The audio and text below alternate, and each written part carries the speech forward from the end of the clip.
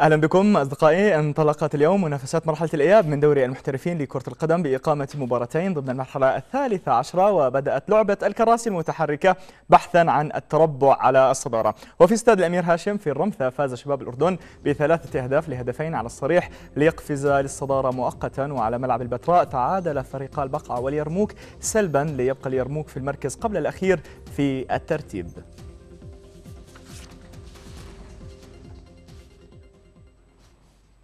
وفي قمة مبكرة وفي مباراة كسر العظم يستضيف فريق الرمثة في الثالثة عصر غد نظيره الفيصلي في استاد الأمير هاشم في الرمثة وتأتي المباراة في إطار لقاءات الأسبوع الثالث عشر للدوري. الفريقان استنزفا الكثير من النقاط في مرحلة الذهاب بصورة أثرت سلبا على الطموح والموقع على سلم الترتيب. المواجهة الساخنة. ستكون بحثا عن تحسين المواقع واسترداد الثقة والتوازن وبما يعزز من تطلعات الجانبين في استعادة طريق المنافسة على اللقب. ويسعى الرمثة الذي يعول بالدرجة الأهم على عاملي الأرض والجمهور لتحقيق الفوز بهدف التقدم خطوة نحو الأمام. ورد الاعتبار أمام الفيصلي الذي فاز عليه ذهابا ثلاثة واحد. مباراة أخرى كانت مقررة غدا ولكنها لن تقام. هي مباراة ذات راس والجزيرة وتم إلغاؤها بسبب عدم صلاحية ملعب الأمير فيصل في الكرك بعدما غمرته المياه والثلوج. فريق الجزيرة تدرب على ملعب الهاشمي تحت إشراف الكابتن عيسى الترك المدير الفني للفريق حيث شهد التدريب عودة بعض اللاعبين الجزراويين وفي مقدمتهم لاعب المنتخب الوطني محمد الباشا الذي يعد من أنشط لاعبي المقدمة محلياً. الكابتن عيسى ترك كان له هذه الوقفة مع كاميرا رؤيا خلال تدريب فريقه على ملعب الهاشمي. مباراة ذات رأس اليوم اللي تبلغنا أنه تم تأجيلها بسبب تراكم الثلوج على الملعب وما قدروا ينظفوا الملعب في اللعب. وهي من هون أنا بقول يعني أنه يجب انه يكون في هناك غطاء للملعب يجب انه يكون في هناك تحضيرات دائما. إحنا بنلعب فصل الشتاء وبالتالي أنا باعتقادي إنه المفروض يكون في نظرة أخرى للملاعب حتى تستمر. الأسبوع الأول تم تأجيله بسبب الظروف الجوية. الآن مباراة مع ذات راس سوف تؤجل. طبعا لما تكون الحمل التدريبي مبرمج على أساس يوم الأربعاء عندنا مباراه كان الآن بده يختلف البرنامج. يعني أكيد بلا شك لها تأثير. بالنسبة لل استقطبنا اللاعب منتخب السوري مردكيان وكنا إحنا بحاجة للاعب مهاجم. والحمد لله وإن شاء الله بنتوفق فيه. وعودة الباشا طبعا من الاحتراف من السعودية. أكيد بلا شك لها داعمة.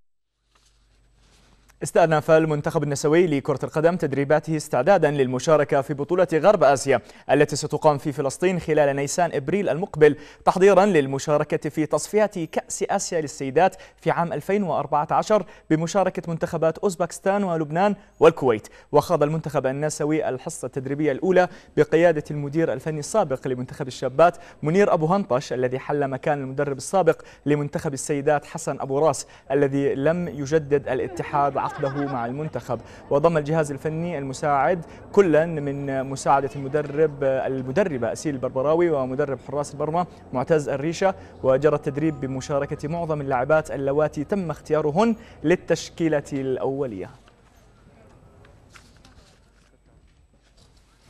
تنطلق في قاعة الأمير حمزة في مدينة الحسين للشباب غدا تدريبات المنتخب الوطني لكرة السلة استعدادا للمشاركة في بطولة غرب آسيا التي تقام في إيران والمؤهلة لنهائيات النهائيات الآسيوية في الفلبين. وسيحضر التدريب الأول مجلس إدارة الاتحاد للقاء اللاعبين والجهاز الفني والإداري للوقوف على احتياجات وأوضاع اللاعبين لتوفير وتسهيل جميع الظروف التي تساعدهم على الالتزام بالتدريبات التي ستجري على مدار خمسة أيام أسبوعيا. ويضم الجهاز الفني والإداري المدير الفني مراد بركات والمدرب سمير مرقص والإداري يوسف كيال والمعالج لؤي مرايات. وقرر الاتحاد دعوة 18 لاعبا يشكلون القائمة الأولية مع إبقاء الباب مفتوحا لدعوة أي لاعب آخر لاحقا بحسب الظروف.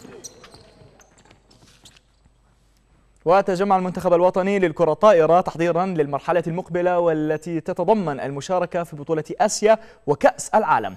المنتخب يتدرب بإشراف الكابتن إبراهيم فيليب والكابتن إياد توفيق الذي قال أن المرحلة المقبلة تتطلب مزيدا من العمل للنهوض باللعبة وتوفير كافة أسباب النجاح للمنتخب الوطني. وأوضح أن الجهاز الفني والتدريب اختار مجموعة من اللاعبين صغار السن الذين لا تتجاوز أعمارهم 22 عاما باستثناء عدد محدود من اللاعبين كبار السن للاستفادة من خبرتهم الكبيرة خلال فترة الإعداد المبكرة.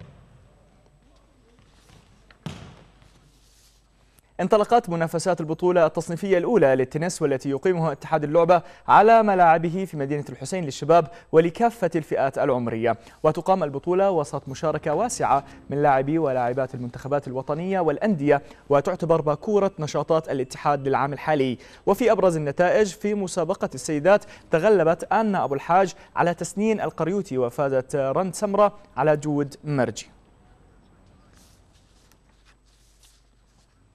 وحقق الرياضي أرامكس المطلوب واعتلى صدارة المجموعة الثانية ليبلغ الدور نصف النهائي لبطولة دبي الدولية الرابعة والعشرين في كرة السلة. الرياضي تأهل مباشرة دون أن يخوض الدور الثاني.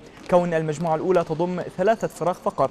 ونجح الرياضي في تحقيق ذلك بعدما تفوق على فريق سمارت جيلس الفلبيني بنتيجة 75 ل 65 مستفيدا من الفوز الكبير الذي حققه الأهلي الإماراتي ضمن نفس المجموعة على المتحد اللبناني. وتخوض ستة فرق ثلاثة مباريات في الدور الثاني وتتأهل ثلاثة فرق إلى جانب الرياضي إلى الدور نصف النهائي الذي يقام الجمعة المقبل. أخيرا سجل مهاجم فريق أرسنال جورفينيو هدفا ساعد منتخب ساحل العاج في الفوز بأربعة أهداف مقابل هدفين على منتخب مصر في مباراة ودية جرت في مدينة أبو ظبي الإماراتية. الفراعنة افتتحوا التسجيل عن طريق الهداف محمد أبو تريكة وسجل منتخب ساحل العاج هدف التعادل من ضربة جزاء مثيرة للجدل بعد احتكاك بسيط من أحمد فتحي للعاجي ماكس جراديل. بعدها نجح منتخب ساحل العاج في انتزاع التقدم عن طريق لوسينا تراوي الذي أسكن الكرة في مرمى الحارس المخضرم عصام الحضري. وعزز منتخب ساحل العاج من تقدمه بهدف ثالث سجله جورفينيو الذي سجل هدفه الثاني في اللقاء. ورد منتخب مصر وقلص الفارق بهدف ثاني سجله جدو الذي أسكن الكرة من بين قدمي الحارس باري. وفي الدقيقة الثالثة والثمانين سجل ياكونن الهدف الرابع لمنتخب ساحل العاج الذي أنهى اللقاء بأربعة أهداف مقابل هدفين.